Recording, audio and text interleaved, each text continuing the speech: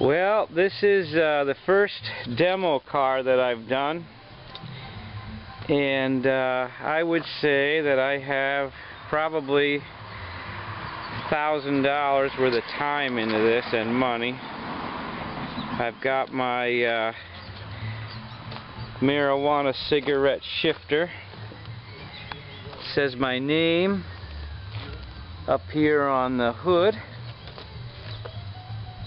The slogan for Vermont is uh, Vermont, the Green Mountain State, Freedom and Unity.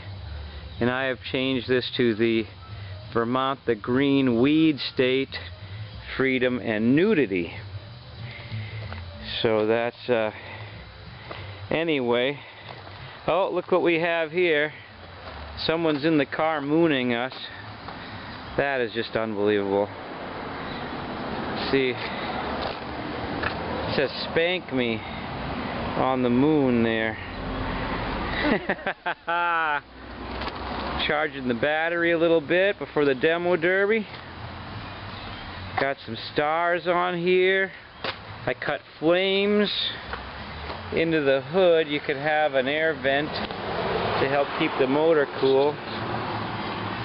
So I turn that into flames. I want to do some opposing colors here on the hood. Get some vibrant colors. I got homegrown written on the uh, dash there. You got to put a stop switch in for the fuel pump and do a bunch of other things. Barre Pinske Studio is on the hood, or the roof I guess, so we're ready to go. Hope I win. I want to do all this work for nothing. Should be fun. I'm going to sandbag a little bit and try to survive.